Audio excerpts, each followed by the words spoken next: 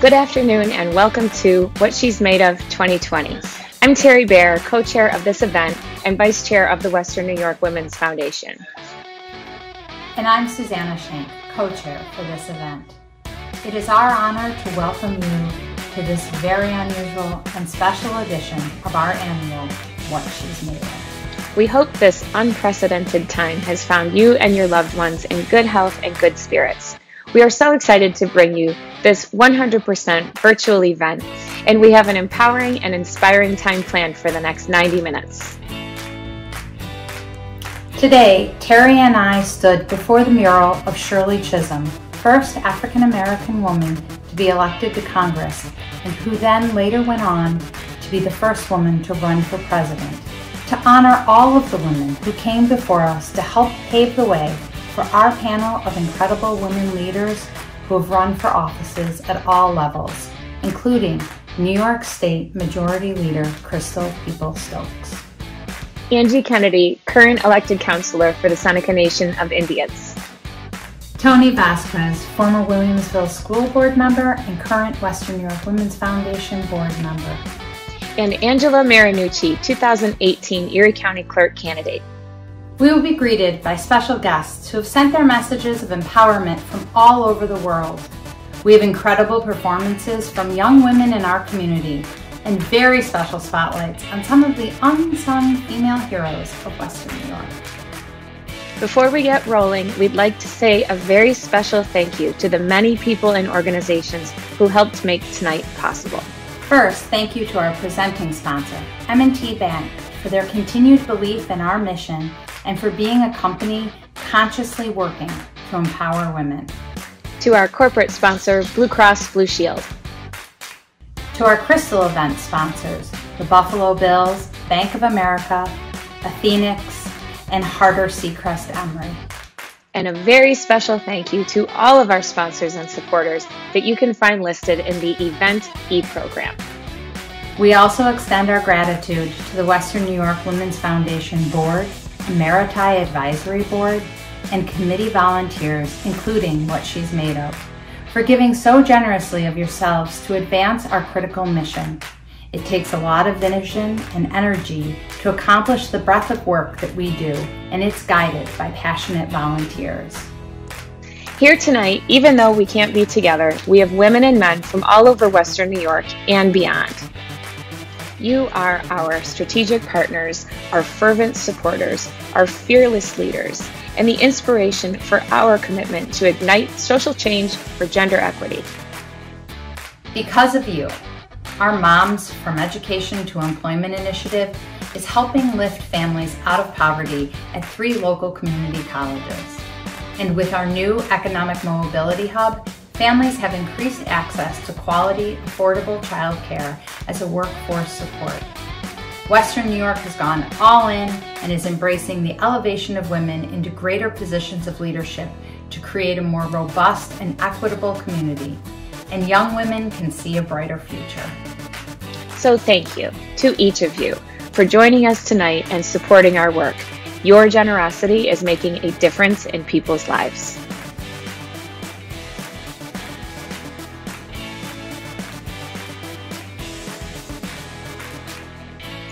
Next up, China Ingram. China is a talented performance poet from Dayton, Ohio. She also happens to be brilliant.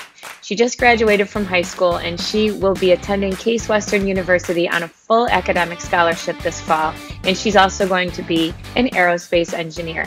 Take it away, China. Life started six seconds ago. The universe expanded, and particles, and atoms, and science, and yeah, there's gases and energy, but no time. No night or day or human life or any insignificant thing that we enjoy. Things were still, just gravity, darkness, and potential. There's yet to be a name for the amount of time that passes, but peace is great. Things are quiet and things are going smooth, but it doesn't take long for the universe and what little is a part of it to become bored. So it wishes. Galaxies and stars and planets that might later be called moons are born from the gases infused with wishes. Life already existed, but here is when it begins. Water. Molecules of water surrounded by organisms that later evolve into us, mammals. humans, things that reproduce and build and question. Centuries go by and there's populations, communities, people. Here we are. Build, expand, build, expand, revolution, families, build, expand. The universe is always expanding. The clock ticks. More elements, more gas, more stars, not enough food. Build, expand, the fight for land, technology. This is the future. Domesticated energy, factories, jobs, money, more people. Our clock never stops. This is where we settle down. Stars are still exploding, hands tick, and numbers change. There's anarchy, prejudice, and laws that separate, but life is easy. We accomplish. We build, we buy, we sell, we die, this life, and it's easy. We build, we buy, we sell, we die, this life, and it's fast. We're faster than we've ever been. It's easy to do things when time never ends, but then again, we weren't that quick to end laws to prevent colors from being friends, a generation that wished for better lynchings like it's Salem, like it's roots, like we don't know how to treat one another because we've never walked in each other's shoes. We're stuck in the past, but God, are we fast? How often do you change the batteries of a digital clock? Life begins and ends in an instant. A blink and you missed it. Mankind should have hit rewind a long time ago. We fought, bought, and expanded, thought time never ended, yet here we are using resources that'll never be replenished. What happens when we run out of things? Do we make more and run from a man-made sun? Do we mix, match, and kill until we're unified as one? What happens when we run out of time? Like energy, it can't be made or destroyed. But when the hourglass empties, we still beg the Sandman for more.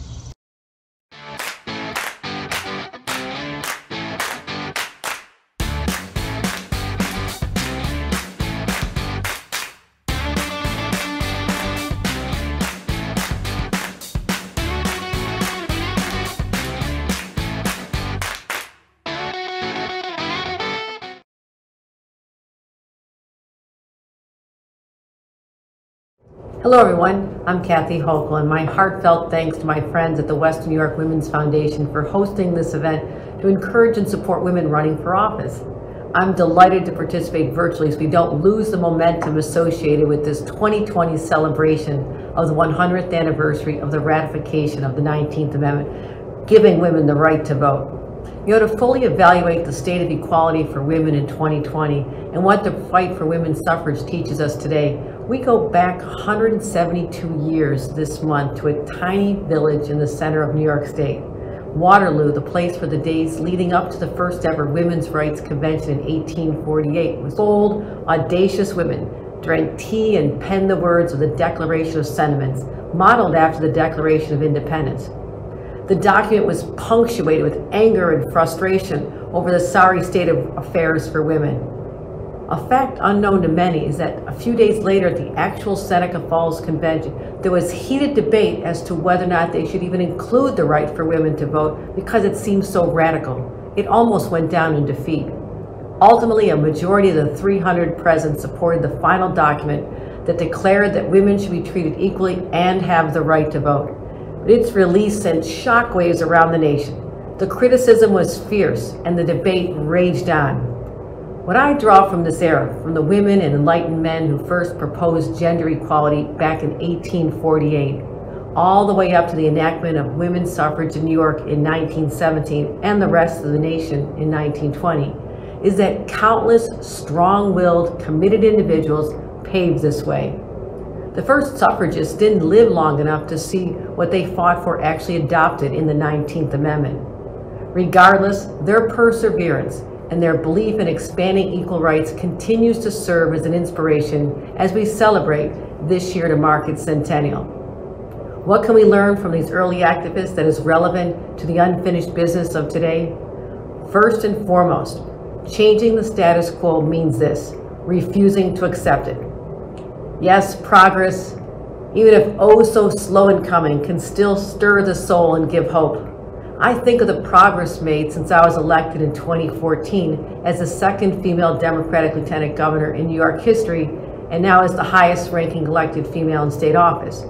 Since then, I've used my position to take a hammer and help shatter barriers faced by other women running across the state. And when I won re-election in 2018 as the first female Democratic lieutenant governor to serve two terms, I was joined in statewide office by Tish James as Attorney General, Andrea Stewart Cousins as Senate Majority Leader, and Crystal Peoples Stokes as Assembly Majority Leader, all the first women all the first black women to serve in these powerful, not long ago male dominated leadership positions. At the federal level, we have Senator Kirsten Gillibrand, who followed then Senator Hillary Clinton. The fact that 24% of the U.S. House and Senate are female is at least some progress since it was only 19% when I served in Congress. And our numbers in the state legislature is now 33% female. Women have been elected to executive positions such as mayors of Albany, Rochester, and smaller cities, as well as Nassau County Executive. But under each of these bright lights is still a dark shadow. The fact that women constitute 52% of the population means that we should be 52% of Congress and the state legislature, as well as mayors and CEOs. I reminded of Supreme Court Justice Ruth Bader Ginsburg when asked, What's the right number of women to have on the court? She answered, Nine.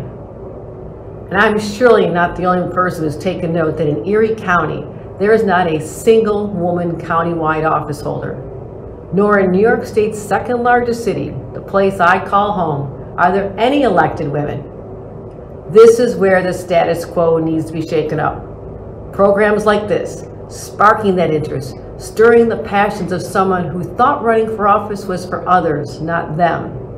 Building the confidence that is so often lacking in women who underestimate themselves, yet will vote for men whose qualifications are far less than their own. And lastly, ensuring women aren't barred from running because they don't have adequate childcare who's watching the kids while mom, the candidate, is out campaigning at the local chicken barbecue. That has to be solved collectively by the community and society. Otherwise, millions of young mothers will never be represented by someone who's living the same experiences. This year is the opportunity to recruit and train candidates for the 2021 elections and I ask women who are debating whether or not to pursue the opportunity to serve and to better live, the lives of members of their community these simple questions. If not you, then who? If not now, then when? The ranks of elected women are growing, and the November 2020 election will hopefully be a continuation of that trend, with the anticipated selection of a woman as a major party vice presidential candidate. We must ensure that the long battles to win suffrage that we celebrate this year didn't just mean the opportunity to vote. To honor that legacy, it should also mean the opportunity to vote for women. And getting more women on the ballot starts right here with the work of the Western New York Women's Foundation. I thank you for hosting this forum and for working to change the status quo for the betterment of Western New York women and families. Thank you. Imagine being a single parent, all alone, full time work, full time school, no help from anybody, not even your community. My son, he has a disability, he's a preschooler, and it has been very difficult with me finding childcare for him because of his disability. I am trying hard to have a brighter future, not only for myself, but for my daughter. The Western New York Women's Foundation has worked tirelessly for over 20 years to advocate for women. Uh, the Western New York Women's Foundation um, is a data driven, respected voice in our community working on issues affecting women. This organization recognizes that one policy can change the lives of thousands of women. There's uh, about 100,000 children in the Western New York region under the age of six. And so we want to make sure that children um, and their families are supported.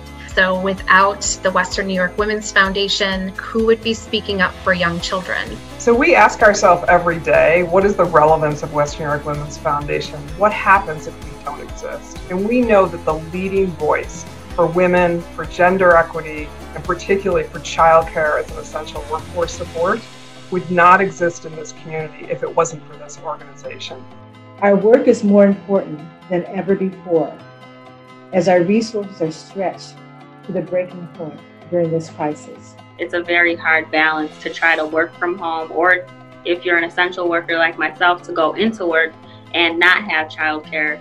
So it's really important that these services are given to the community so that we can like make ends meet. These programs and how far they reach, they're not just reaching, you know, young women, but they're reaching like another generation on top of this one. The challenges that I'm facing right now are difficult, but they're not unique. And the Women's Foundation is working to help to make those difficulties a little bit less severe. I am one of those parents that have benefited from the Western New York Women's Foundation. And we know that policymakers and decision makers are much more apt to listen when we are united in our voices, and particularly those who are contributing to the region's success are a part of that and a part of that movement. We know that it will only have really positive benefits for young children. And we know that the influence that we can have over systems change, and particularly policy and funding being driven to our region, would not exist if the Western New York Women's Foundation did not exist. It's the Western New York Women's Foundation and the SPRE program that are helping women like me. The person that you're investing in uh, today may be just the person who solves and makes a big problem for us. Your support means we can keep pushing forward to make life easier for women in our community.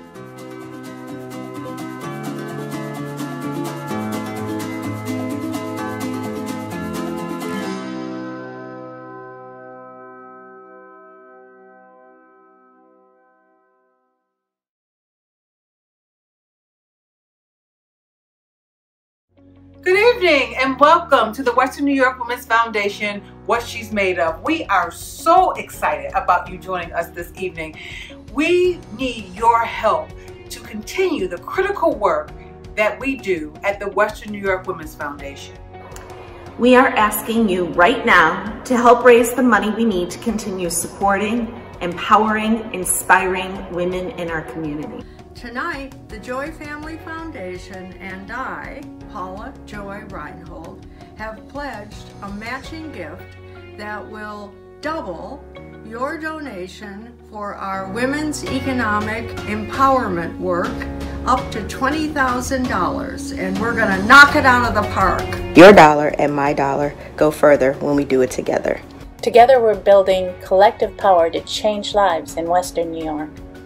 Now is the time for us to stand up for women and girls. Giving this year is incredibly easy. Just click the donate button on your screen or scan the QR code with your phone. The online form only takes a few minutes and your support is greatly appreciated. So thank you to every one of you for stepping up to support the efforts of the Western New York Women's Foundation to ignite social change for gender equity and empowerment for girls and women.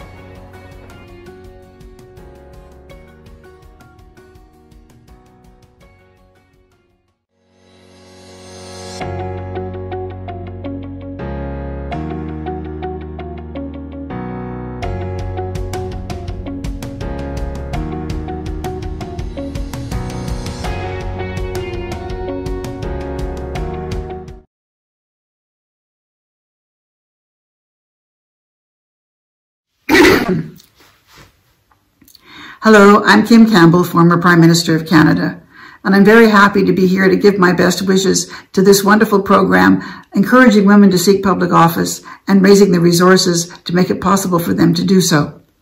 I held elected office at three levels of government in my country, the municipal level in Vancouver on the school board, the legislature of British Columbia, and then in Ottawa, where I served in the cabinet of the government of Canada.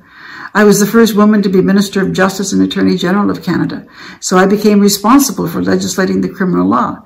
As a woman, there were many ways in which I wanted to reflect that novelty of the first woman Minister of Justice.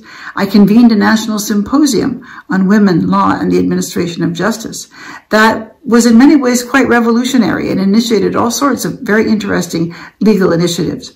I also revised the sexual assault law in Canada. My bill became known as the No Means No Law. Uh, not only did it define what consent was, but it also defined where, as a matter of law, consent for sexual activity could not be found. It is still a very important piece of legislation in the Canadian criminal law. I was the first Canadian woman to be uh, Minister of National Defense, in fact, the first woman in a NATO country. Uh, and then I went on to become leader of my party, and we were government, and I became the Prime Minister. All of these things were, were, challenges for me because in many cases, because I was the first, nobody who looked or sounded like me had done that job before. So there's always a challenge of establishing the normality of somebody new and different doing a job. But many women have done it, and I am a founding uh, member of an organization called the Council of Women World Leaders. We are over 60 women who are or have been president or prime minister of their countries. Increasingly, women are getting the opportunity to lead. And as we've seen in the latest uh, COVID pandemic, the countries that have been the most successful have very often been those that have been led by women. So it is no longer an issue whether women have the capacity to lead or the capacity to make a contribution in government. They've proved it all over and over again. Every bit of research about women's leadership capacities shows that they are as strong as men. But this is not always taken for granted. The other thing, of course, is that no one woman can represent all women. Among women, there are huge variations, whether it's women of color, women uh, of, of, uh, of immigrant origin, women of different, different regions and different perspectives and different interests. So we need many women. Until we actually have gender parity, we won't come anywhere close to having the kind of voices necessary to make sure that our governments speak for all people, and that includes women. So when you think about running for public life, remember there are a lot of different choices, a lot of different levels of government, but that it really matters. Women can do it, and democratic integrity depends upon the diversity of voices that go in, not just to making decisions, but identifying what the issues are to begin with. An American woman politician once coined the expression, a woman's place is in the house. And that's very true. I hope you'll go for it. Thank you.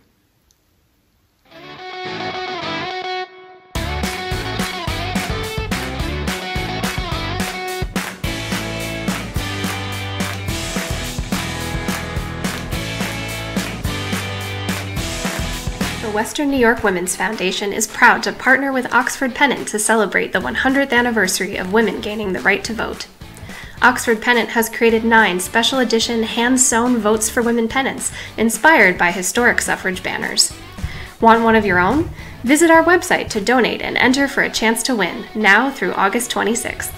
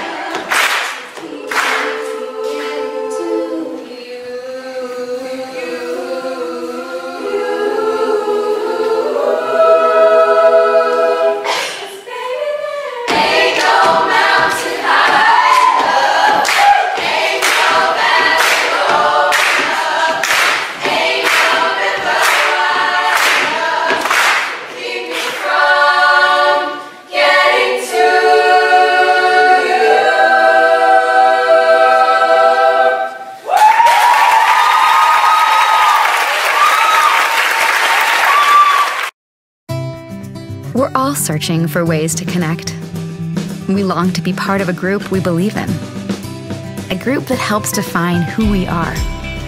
This is what it means to be part of a community. At M&T Bank, supporting all the important communities our customers are part of is nothing new. to enable, encourage, and empower people and communities to thrive, there's nothing more important.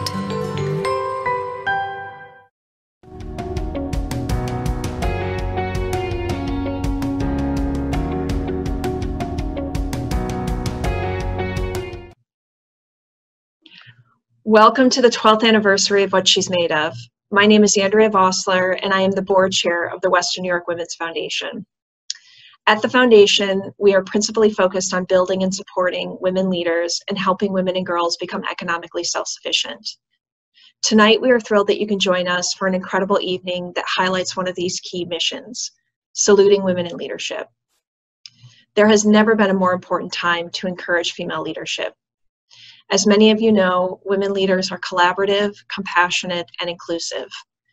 With their focus on working together, women leaders can have collective impact. And by joining us tonight, you help our foundation lift more women into positions of leadership by funding our important work. Funding our work helps us make a difference in the lives of women and girls in our community. Tonight, we are very proud to welcome a panel of incredible female leaders to what she's made of. These women have run for office because they care about their communities and want to roll up their sleeves and help. Our panel tonight is incredibly diverse. We are featuring women who have run for office at the state, local, municipal, school, and tribal levels, and across all political parties. They have inspiring stories to share, and their personal experiencing are empowering examples of how each of us can make a difference. Tonight also celebrates the 100th anniversary of the ratification of the 19th Amendment, which gave women across the country the right to vote. It's our responsibility to honor that sacrifice and passion and exercise our rights this November. Now it is my honor to introduce you to Morgan Williams Bryant, the moderator for tonight's panel. Morgan is an incredible dynamic and accomplished leader herself. She's a 2003 graduate of SUNY, where she graduated with a degree in broadcast communications and then she earned her master's in organizational leadership from Medaille in 2006. From there, she started her career in the Youth and Family Services Department of Erie County and quickly rose up the, the ranks to become the Deputy Commissioner for Erie County's Youth Services Division. Morgan joined the Girl Scouts in 2013, where she currently serves as their Chief Impact Officer. Welcome, Morgan. Thank you all for being with us this evening, and we hope you enjoy the program and to continue to support our organization and its important work. Thank you. Good evening, good evening, everyone. Thank you for joining us today. This is such an exciting time for us to be having this conversation on the heels of Senator Kamala Harris being selected as presumptive Democratic presidential nominee, Joe Biden's running mate. Today, I have the privilege of highlighting our local women who are trailblazers it's important for young and seasoned women who hear these to hear these amazing stories of courage and why we celebrate the centennial of the women's right to vote. I want to bring and talk about my few my five girlfriends that are joining me today.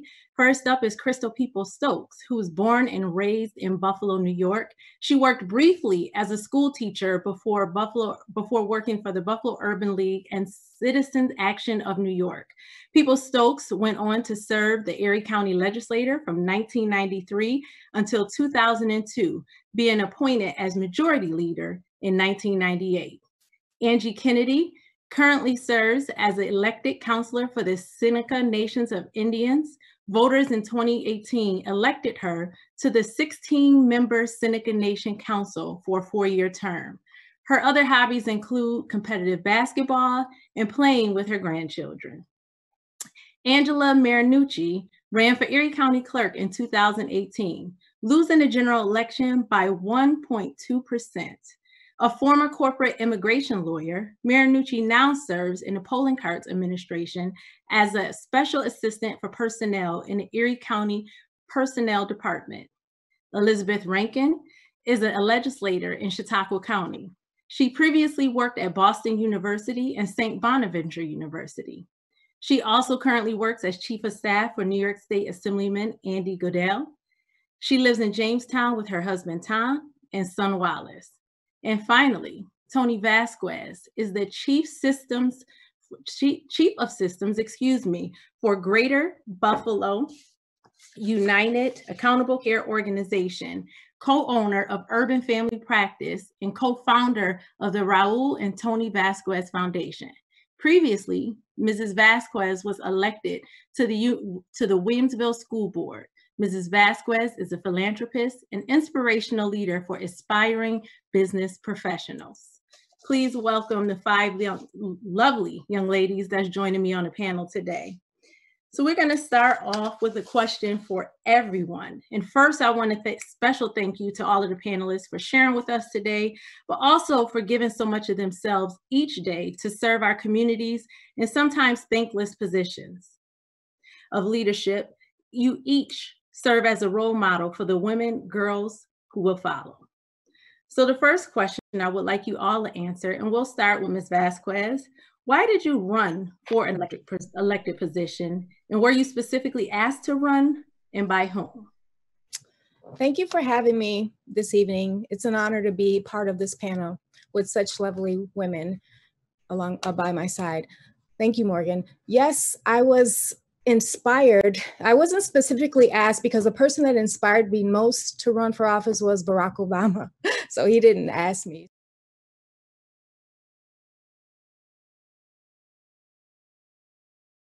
19, I mean, I'm sorry, in, in 2008, I'm sorry, in 2008. And so in 2009, I decided to run for office. I just, I couldn't believe that he accomplished such a feat, such a feat. And I was inspired beyond measure. So I said, you know what, if he can be president of the United States, surely I can do something here in Williamsville. And Absolutely. so I ran for the Amherst Town Board. That was my first, my very first election, which I lost, but that's okay because I went back. But um, but yes, that was my first election, and my I mean my first campaign, and my my very first inspiration was Barack Obama. And great inspiration to have. Thank you for that, Angie Kennedy. Yes. Oh, uh, why I ran. Um, we don't have very many uh, women sitting on our on our uh, council. There's only five of us currently, and even before I got elected, there was four. So we're still like a minority going on on our uh, our council of 16. So mm-hmm. I felt inspired to run because I felt like it was time to change up some things. You know, in my eyes, you know, mm-hmm. I I mostly dealt with uh, sports, drugs and alcohol on my territories and stuff like that because I used to work for one of our uh, drug and alcohol programs. And I felt like we weren't doing enough. So, you know, I felt like I needed to put of my voice somewhere where I feel like I would do more things. Um, no, uh, no one asked me to specifically run. I just went out there and said, I'm going to run for council. And that's about it. That's that. That's really good. You had to courage yourself to go out there and do it and make a difference. Um, Elizabeth Rankin, can you answer the question? Why did you run for the electric elected position, and did anybody inspire you? You're you're still on mute. Uh, there we go. How's that? Yes. I had lived away for a while, and when my husband and I moved back to the Jamestown area, I really wanted to find a way to give back to the community where I grew up. And a friend of mine, um, a colleague of mine, ran for county legislature and won. And I thought, let's combine those things a way to give back and to run for county legislature. And they needed more women. So right now there are three out of 19 legislators. So we need more. But I'm, I'm very encouraged that those of us that are there are um, my colleague who I said ran before is now assistant leader. We don't have enough women leaders there, like in the state legislature. So um, I, I'm proud to be there and do it. They didn't ask me at first. I offered, and they had a man who was going to run. And when he didn't win the, the re-election, they came back to me. And as you all know, it's hard to find people to run for office. So when they identify somebody who's interested, they'll come right there and say, Would you run it? And by that time, I was very excited to do it. So thank you. The pattern with our first three panelists of no one had to tell them they were inspired themselves, took the courage and got out there and did it. That that's awesome. Let's move to Crystal Peoples-Stokes. Well, thank you. I'm delighted to be on this panel with such powerful women. It's good to see you all. Uh, it's been a while, Morgan, since I've seen you. It's good to see yes. you. Hello. Congratulations on your constant rising. Thank Don't you very much. Yet, though. Say, I, um, I see that. I'll be honest. Um, people did ask me to run because I had no desire. I was not interested. Uh, it just wasn't in my thought process at all. But it just so happens that a uh, long-term incumbent county legislator was retiring and it was kind of sort of like the year of the woman around that time in, in the 90s and so people were like well you know what maybe maybe you should run i actually was a community activist already i did a lot of work with citizen action uh, notwithstanding that i did a lot of work prior to citizen action and so I really had a good network of connectedness to people and to the community. Mm-hmm. Um, and at the time, you didn't really run in Buffalo unless the party said, we choose you. Well, the party didn't choose me. But since I had already been asked and had decided to say yes, when the party said, well, you know, you would be a great candidate, but you're not the one we select, and I was like, well, okay, well, thank you. I appreciate your time, but I'm going to run anyway. And, and I won only by 25 votes, at, mind you, but I won. So um, I, I, this wasn't where I was going in my life, but sometimes, you know, when staying God's will, he'll lead you to where he needs you to be. And that's how I got here. Right. I always say when someone tells you no, that's setting you up for an even bigger yes. So good thing. Yeah, that that's a problem. That I, I don't take well to no. I don't either. I just figured I should ask a different way. yes, there's another way. All right, Angela, the question on the table is why did you run for an elected position and were you specifically asked to run and by whom, if so? I was asked to run, but not by the party or um, people in politics. I had moved back to the Buffalo area about five years before I was practicing law, and a friend of mine knew they didn't have anybody running for county clerk. And as I was legal and I had always been super interested in politics, I lived in DC for about seven years and I felt pretty passionately.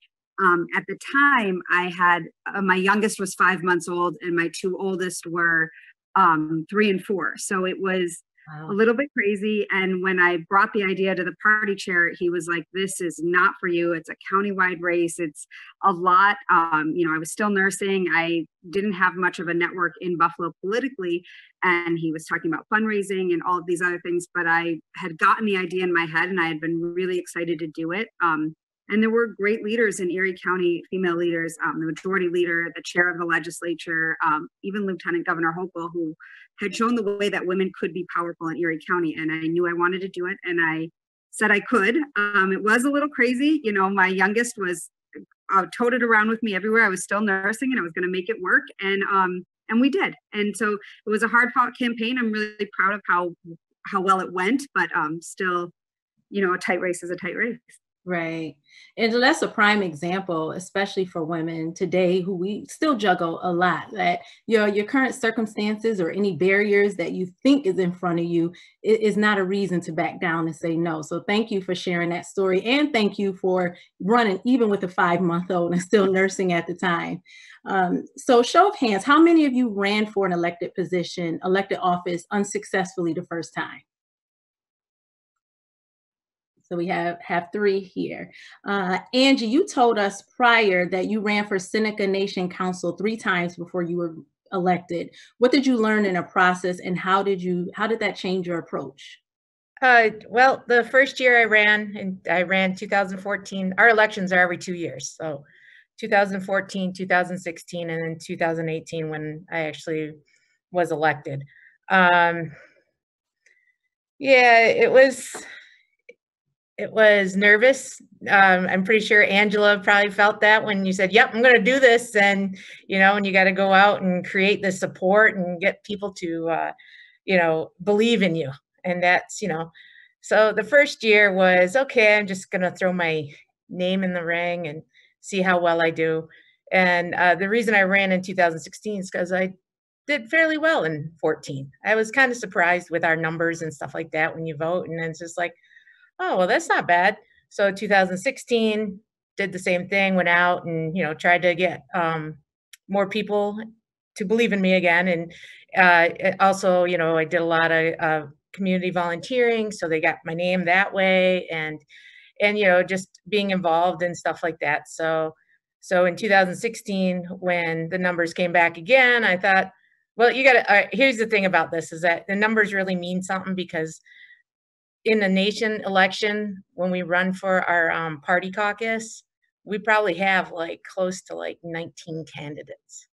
So you yeah, so you got to figure if I came in the top five, you know, out of four or the top six, you got to change somewhere. And so, absolutely. So I, you know, so you know, when 18 came, you know, I I took it, I uh, stepped it up and took it a lot serious and just went out door to door, made made every event I possibly could. You know, spoke spoke to people I've never spoke to in my life. You know, and and uh, you know, us Senecas are pretty tough on our uh, our elected officials. So you know, you got to be ready, and you gotta you gotta you gotta have very thick skin. So and, and, you know, and I'm pretty sure the ladies know, like even your constituents, uh, the same way. You know, so so yeah, that's kind of you know a lot of barriers where that um, I was new to the game. Mm-hmm. So, you know, I had to like learn it. So now that we're up to our elections again, now I can watch the seasoned politicians and see if I can catch something for the next time. and that's good, good. And Angela, you too ran for county clerk and lost a tightly contested race. Why was it important to put your whole self out there? For this race, and how would you characterize the camaraderies on the trail amongst other candidates, male or female? Um, it was important, I think, especially in 2018 and in general, you know, people are seeking authenticity in who they're electing, male and female, and whoever it is that they want to vote for. And so um, I didn't know how to do anything else. I, you know, I can only be myself and who I am. Eh, you know, I when I feel passionately about something, I work really hard at it, and I I loved the race. I ended up loving campaigning. Um, I met incredible people all over our county um, in areas that I didn't typically go for, go to before um, running. I live in Grand Island, which is north of the city, and um, I met some of the people on this panel through my campaigning and um, just being out and about and seeing different things and what there was to offer. I was incredibly blessed to be surrounded by um, a slate of candidates who were um, powerful and exciting and, and really wanted to help each other along. Um, it was the governor and lieutenant governor were up for re-election in 2018, um, as was Tish James was running for AG, and you know they were going around um, in Buffalo often. The lieutenant governor was a huge sense of support every time she was in the area because she had formerly been Erie County clerk, as she mentioned in her video, and after she had left in 2011, there hadn't been another county-wide female elected official. And so, um, but it wasn't just women. There are a ton of great male electeds and people who were running. I was running along with assembly candidates, um, Pat Burke, who was running for the assembly at that time.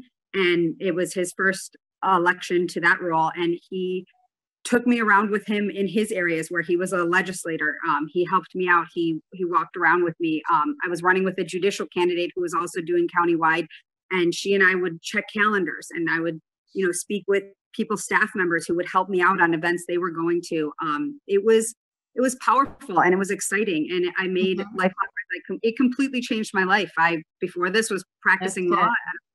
Firm I loved, and um, you know now I'm in the Poloncarz administration and I'm, I'm working hard and I feel very proud of what I'm doing. And so um, it was a huge turning point. I, you know, the, it's hard to lose. It's very, very hard to lose. Absolutely. Thank you. Thank you very much for sharing. So I'm going to go. Oh, I'm sorry, mm-hmm. you froze for a minute. Okay, there you go. My computer froze for a second. Okay, so I want to move on to the wisdom of our panel, which is Assembly Women, Assembly Woman Peoples-Stokes. You have been a public servant for a long time, first as an educator, then a county legislator, and since 2003 as a state assemblywoman. Not too long ago, the New York State was governed by three white men in a room. And now, as Lieutenant Governor Hochul noted, we have three elected Black women leading. Tish James as Attorney, as Attorney General, Andrea Stewart Cousins as Senator Leader, and yourself having been elevated to a position of majority leader of the New York State Assembly in December of 2018. Tell us what it has been like to be a part of this enormous sea change that has been defining in the defining lessons you've learned. You're on mute. We tell you, it's very humbling, very, very humbling. I um, was bitten to run for office when I was told no. So I ran for the county legislator, I won that.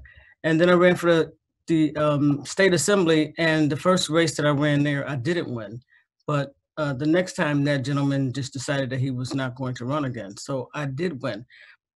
That was as far as my desire was to go. Uh, I never even conceived of being the majority leader. It never even crossed my mind that I would end up in the position of majority leader. And so to get there is very humbling.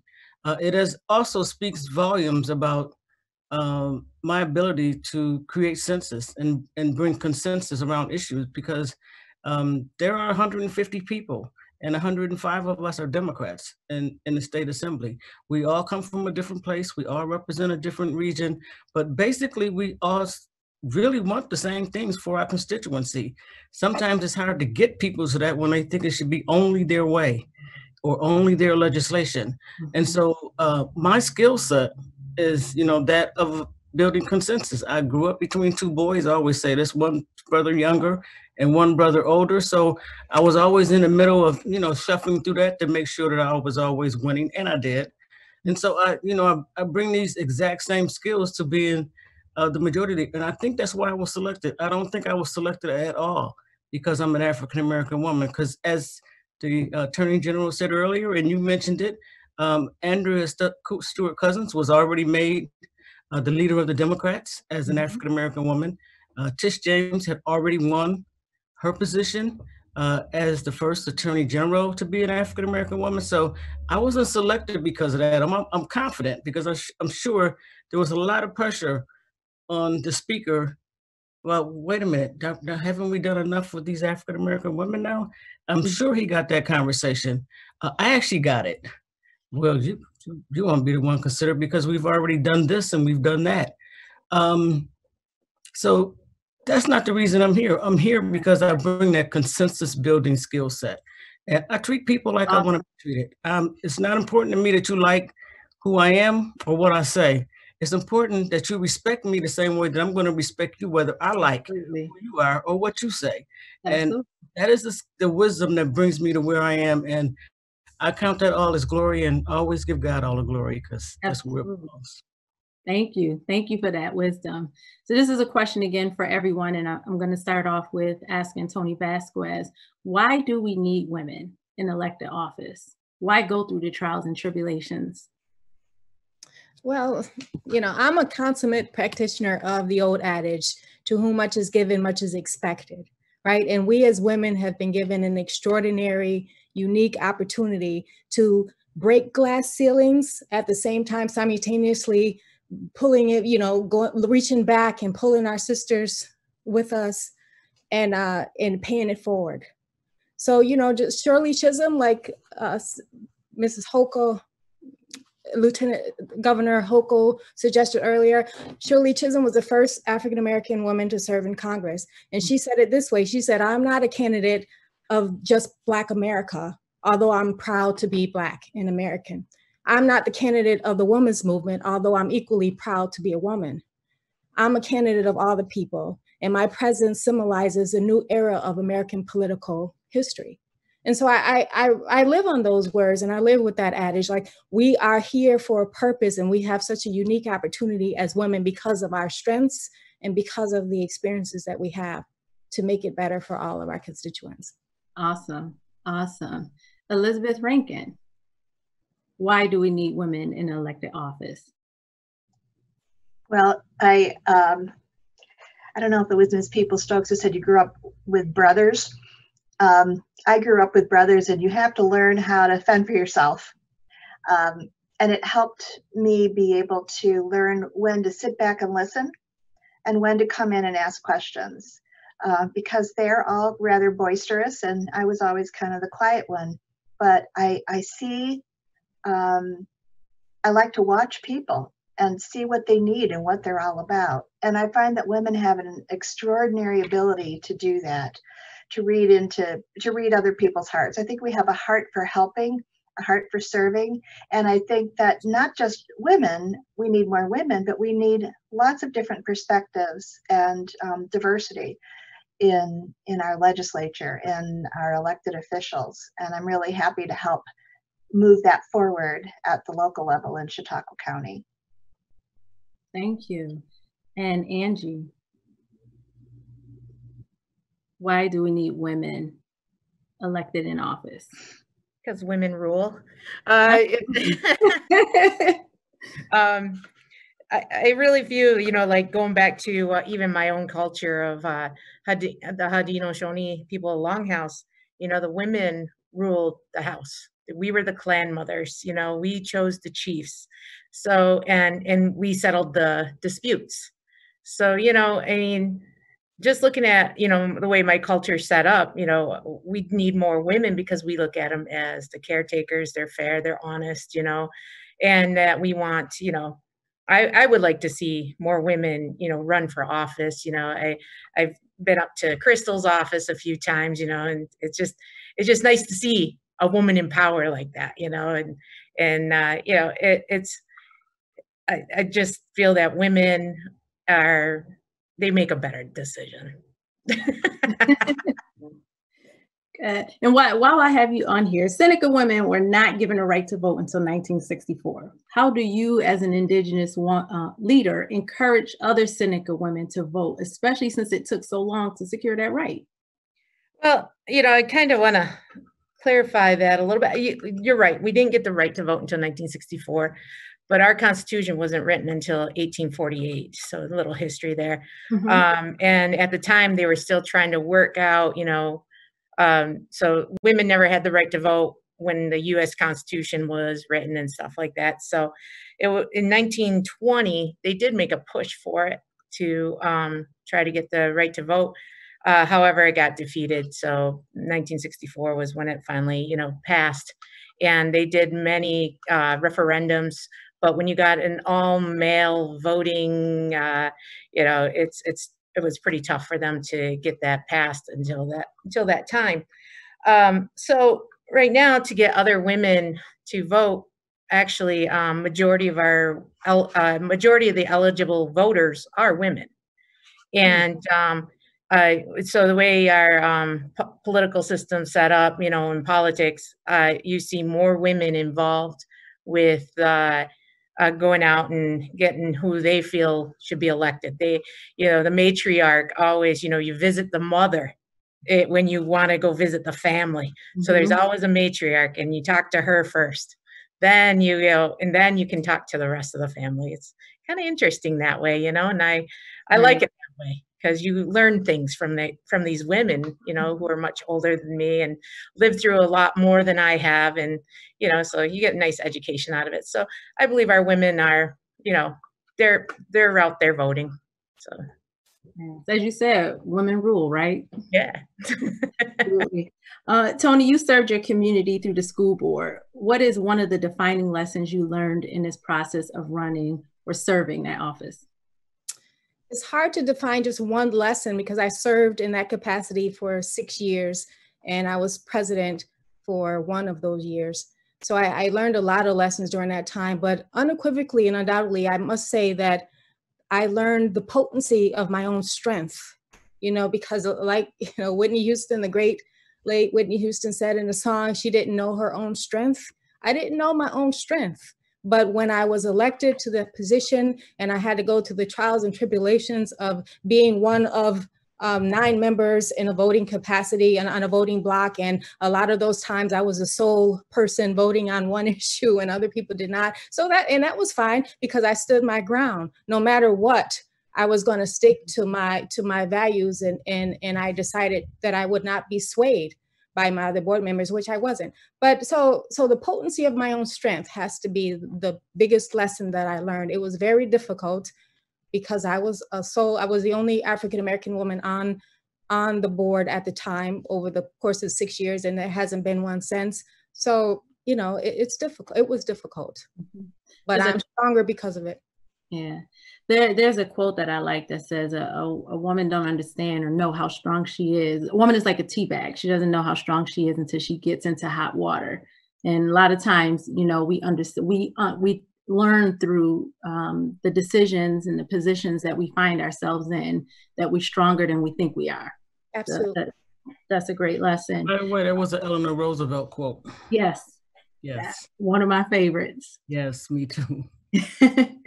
okay, so this is another uh, question, and we're coming up on the end. So I'll say um, you can answer the question in six, 60 seconds or less. The reality of running for office, especially for women, is there are many hurdles in running for office. What is the worst thing, most outrageous thing that happened to you on the campaign trail? You, keep it clean, but you can make us laugh if you want to. so I'll start with Elizabeth. You need to have um, good shoes. And um, because the, you know, I keep thinking about slipping on the wet leaves, slipping on the ice, um, falling down the stairs, you know, when people, when I'm talking to people, looking like a total klutz. Um, but you uh, you keep going, you keep smiling, you pick yourself up, and oh, and encounters with dogs. I bet everybody's run into that. You know, the the dogs in the neighborhood. Yeah, th- those are some of the hurdles. A good one. Who doesn't like an excuse to buy new shoes? Right. Angie. Uh, I guess flubbing over my words is always a hurdle for me. I mean, even today. But uh, so those are, you know, those are the thing is uh, being yourself and, you know, not trying to be all made up before you go to doors. I've found mm-hmm. that out a lot. Just be natural, be yourself, yeah. be able to connect to the people. That's good mm-hmm. advice. Assembly Woman Peoples-Stokes. Well, I would think the some really i never did a dog house first of all if i thought it was a dog there if i saw a sign if i heard a dog i didn't go there at all because i love the spirit of dogs but it was really striking to me when i literally heard this lady ask somebody because we did a door-to-door campaign put up a lot of signs all over the place and she said just who are these crystal people literally not getting that it was my name was crystal peoples She's like, who are these crystal people? So, kind of funny, and we we kind of laughed it off. But she she got it afterwards, and she voted for me too. Oh, that's good. I like that. And and last, Tony. Um, that's interesting that Crystal that you said who are these crystal people because when I was on the campaign trail I wore my own T-shirt vote for Tony Vasquez and people would come up to me all the time and say who is he who is who is he who is he I, you know my answer was he is me he is me.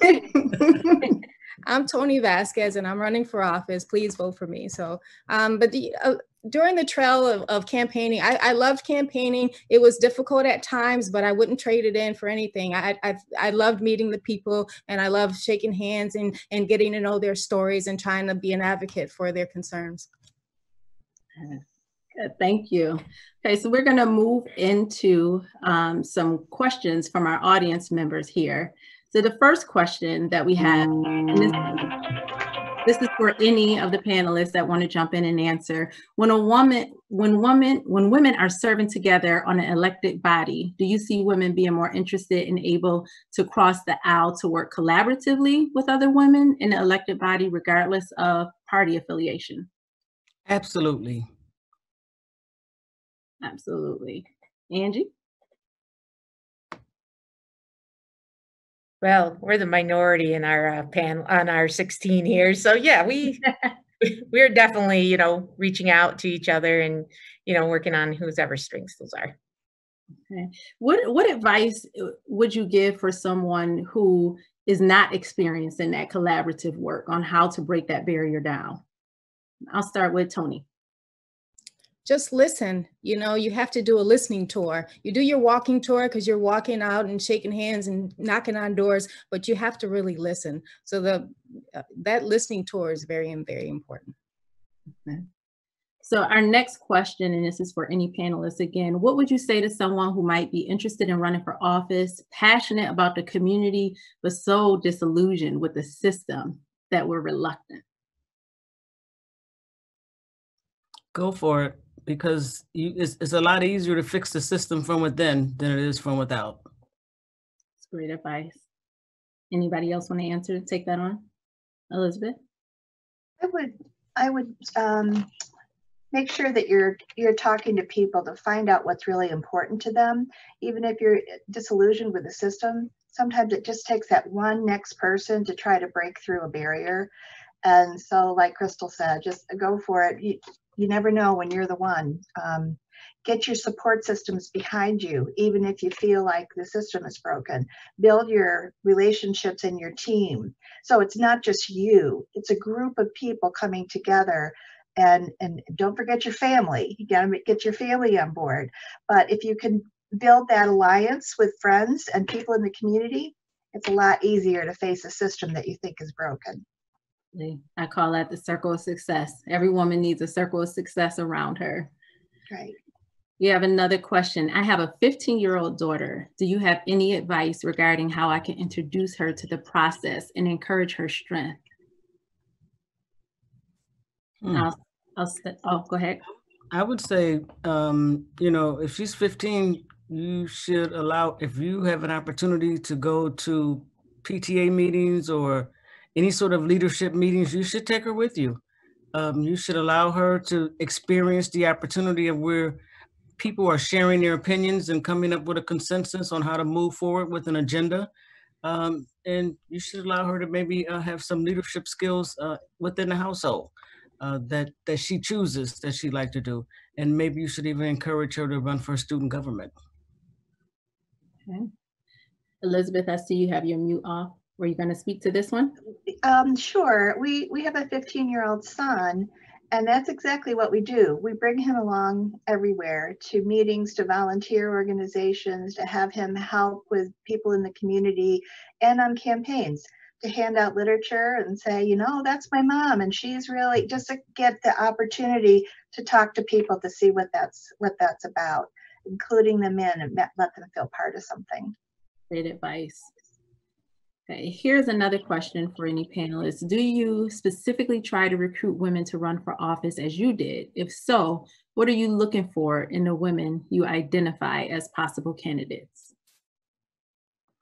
Well, I'm reminded of my former colleague in the county legislature, Joan Bozer, who says, I'm always looking for a woman who thinks like I do.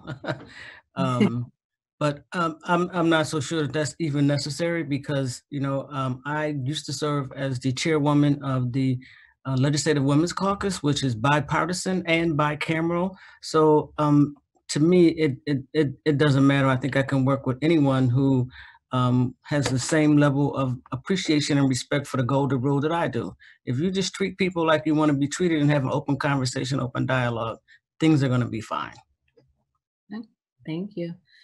Uh, this question is for Tony or Crystal specifically. Where do you think women's voices are missing or needed most in the local politics? Where is the place to start for someone thinking about making a difference? Well, I think that any elected position is a place to start. You know, when I first was interested in running for politics and and um, being inspired by Barack Obama, I sat down with Satish Mohan. He had been the town supervisor for the town of Amherst, and he said, "Why are you running for school board? You should run for town board." So he encouraged me to run for town board at that time, but you know and, and, i did run and i had a great race but i didn't i didn't it didn't end successfully. I lost the race but i was inspired by that race and and going through the process and i thought i ran a, a great race. Um, but it it encouraged me to go further and then eventually i did go back and run for the school board and i did get elected to the school board. So i think that anywhere your voice can be heard is where you should be is where you should be. Great advice I'd agree. I was encouraged to run for the school board when I first ran for the county legislature. Well, why don't you start with the school board? Well, because I'm not interested in the school board. and so I think women should, you know, run in the areas that they're interested in. Keep in mind that if you run for the legislative body of government, you're going to serve with other people and you have to have the ability to convince them to believe what you believe in order to get anything passed and or done because you can't it's not like the executive branch where you can just say okay we're going to do this and then we have to go get the legislative to agree with it in the legislative branch you got to get 50 plus one to agree with whatever your position is. So it's not as easy as some people may think, particularly um, your average community activist really just thinks, I'm going to get there, I'm going to change the world, I'm going to do this, I'm going to do that. And really, you're not going to do that unless you convince the other 75 people, in, at least in the state uh, assembly, to agree with you, because that's what you Mhm. need to pass something. So um, I, as long as you feel this strong about a position you want to run for, it should not matter what level it is, whether it's school board, county, city, um, federal, or state. You should just go for it.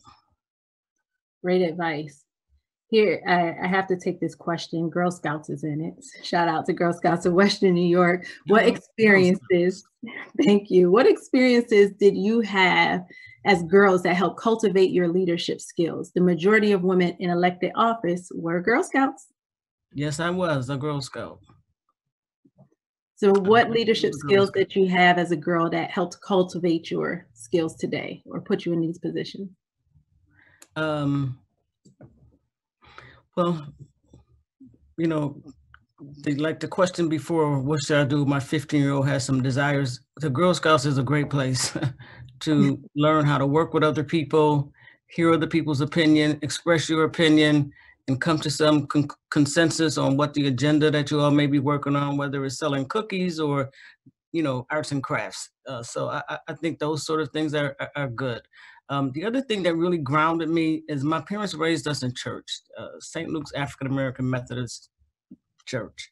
So the same anxiety that I have now when I public speak, I had that anxiety when I was five doing my Easter speech at St. Luke's.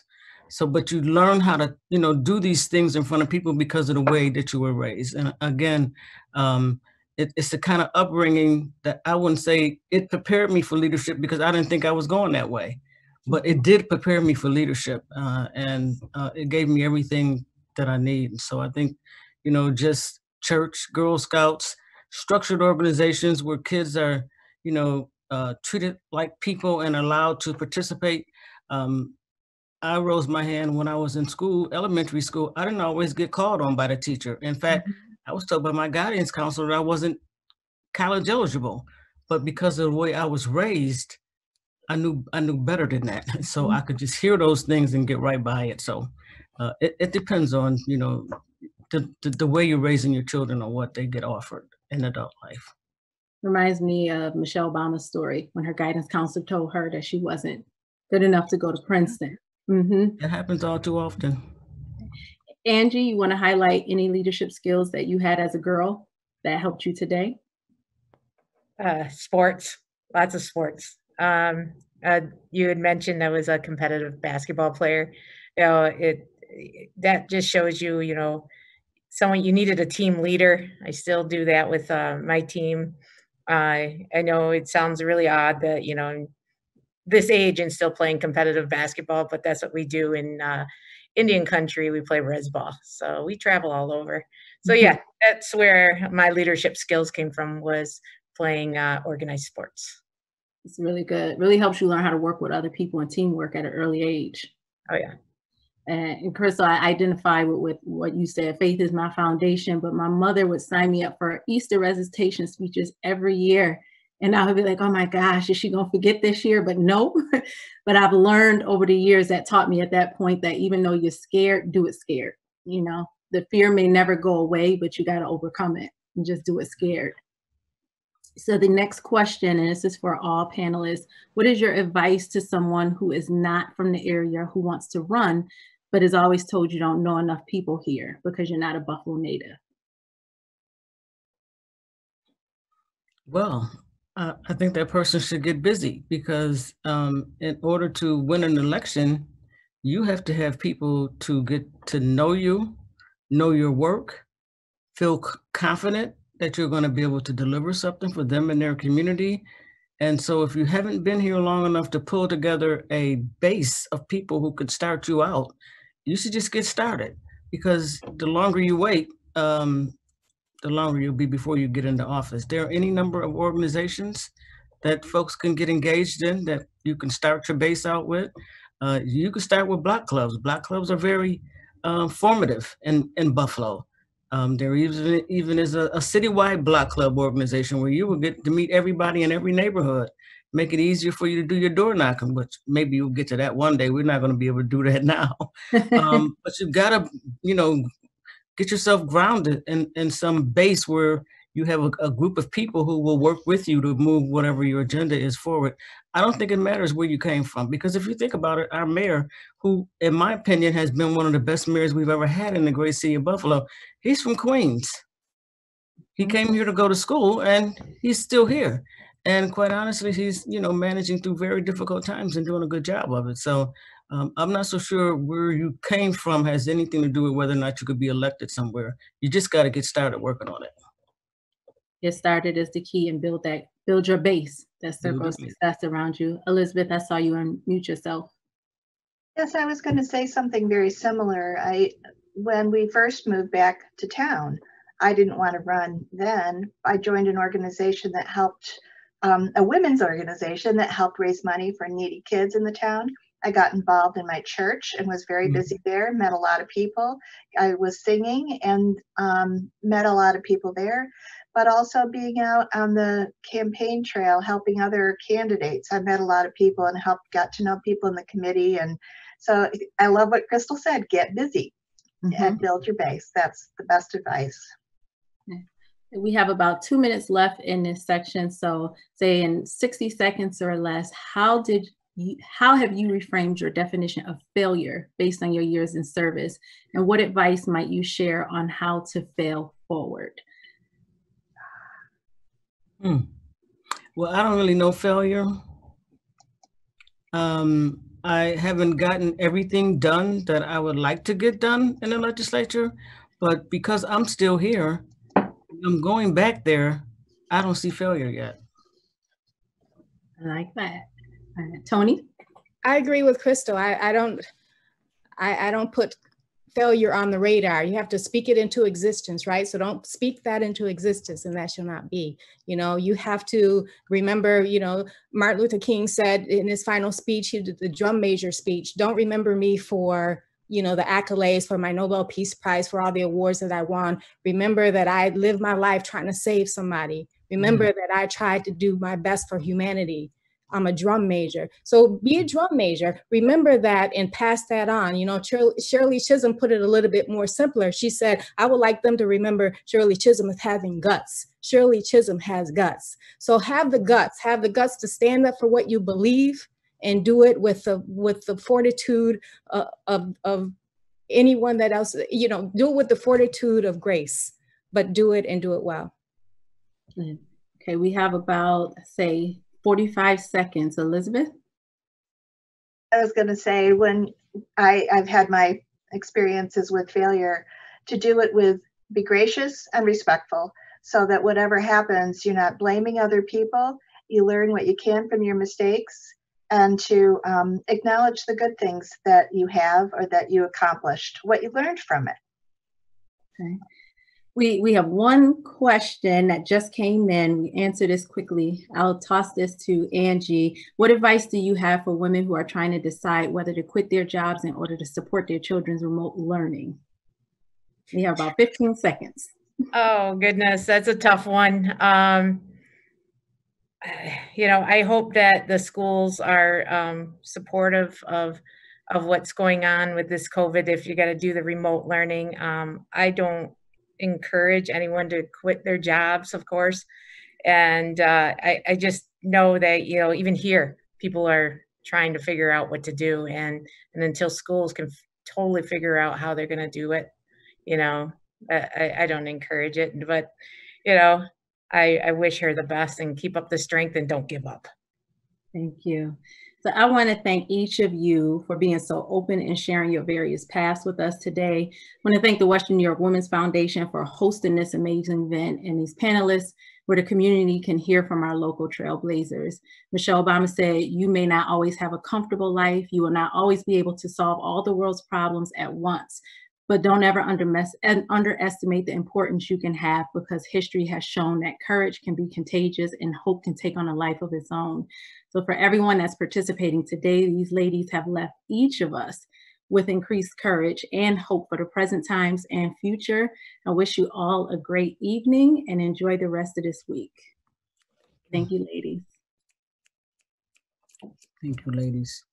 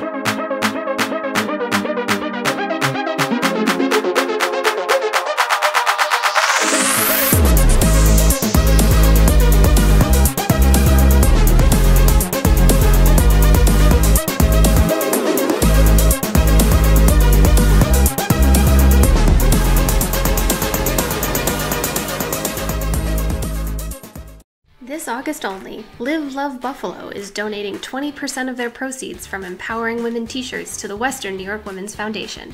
Order online at livelovebuffalo.com. The women of Western New York are strong, passionate, and incredible. Tonight, we celebrate them as the unsung heroes of Western New York. Women like Angeline Benbenek, nominated by her daughter Mary Ann Colson. As Marianne tells it, I grew up in and around Fort Bragg, North Carolina. My father was overseas, often serving as a Green Beret during the Vietnam War. When my sister and I were old enough, my mother started working on the base for civil service in the supply division. She was responsible for taking care of us, ensuring we were receiving a good education, managing the household, and all the finances. She dedicated her time to her family and her career. My sister and I were very fortunate that she was an exemplary and dedicated role model for two young girls. Women like Latrice Myers, nominated by her Aunt Kwanzaa Humphrey. Latrice is the owner of Let's Talk Western New York, a wife and mom of twin boys. She recently added her voice to the pursuit of positive birth outcomes for women of color. Women like Marilyn Solomon Ward, nominated by her colleague Nancy Langer. Marilyn has been a teacher for over 40 years. After graduating from college, she returned to her grade school to teach and has been a positive influence on children in Buffalo's Central City her entire career. Today, Mrs. Ward is the lead teacher at the Nativity Miguel Middle School St. Monica campus. Visit the Western New York Women's Foundation Facebook page to view a full gallery of all the incredible women of Western New York. Thank you to each and every one of you for what you do for our community.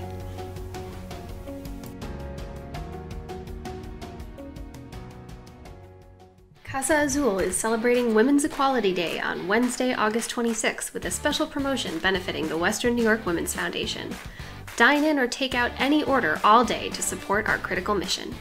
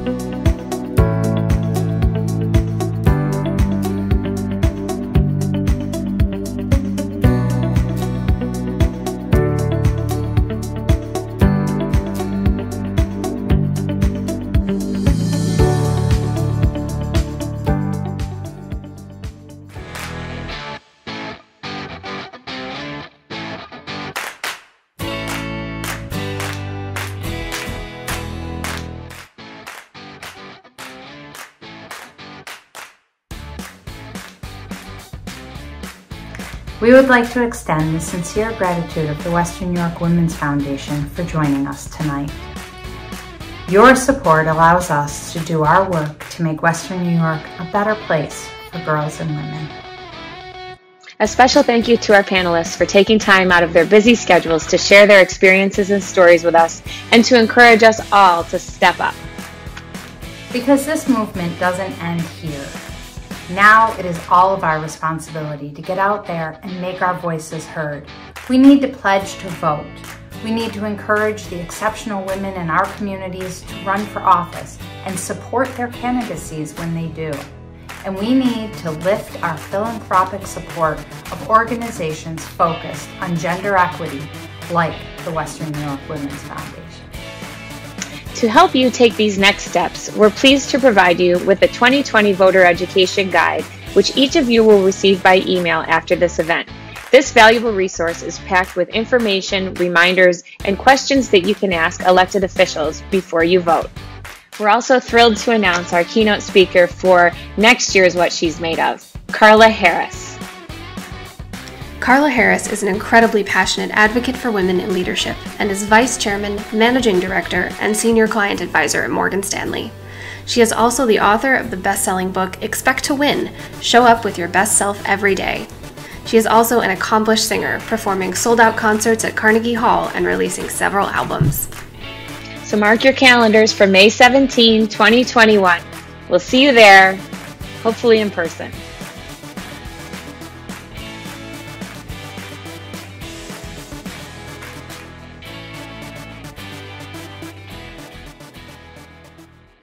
Hungry after the show? Women owned restaurants Coco and the Savoy are partnering with the Western New York Women's Foundation tonight only to donate a part of their proceeds to our critical work.